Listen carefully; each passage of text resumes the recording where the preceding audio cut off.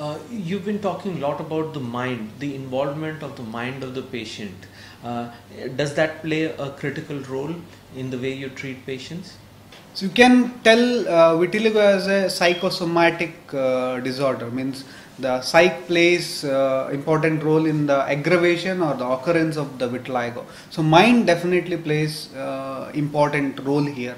The person who is unrealistic, who is very uh, whose expectations are too high, to tend to get lesser uh, uh, outcome.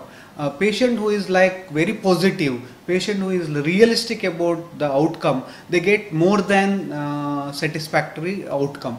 So in uh, in our uh, teaching in uh, during md days initial days of uh, vitiligo surgery there is something called inclusion criteria and exclusion criteria for vitiligo surgery. And having unrealistic patient characteristic expectation is a exclusion criteria for vitiligo surgery. So you should not do the uh, any intervention for these patients because if they are having unrealistic expectations, their results won't be good.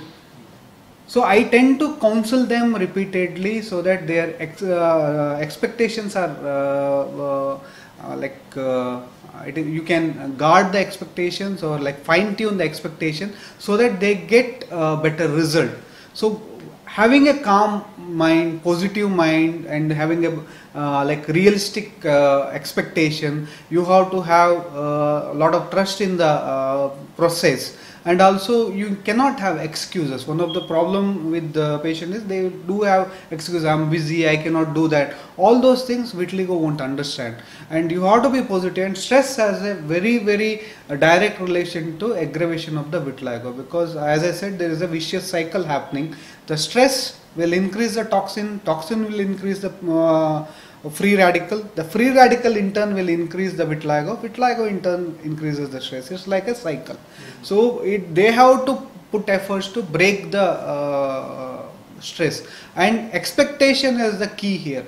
Because most of the patient if i do surgery also uh, from the one week onwards the dressing is removed they start analyzing on a daily basis asking the friends relatives something happened. This cannot happen over time, overnight. It takes time. And color match is also it will take 4 to 6 months. So we do a lot of counseling. Every like uh, not just in person we'll call them and we try to counsel them again and again so that they stay motivated and they don't take undue stress and all those things so that they get better result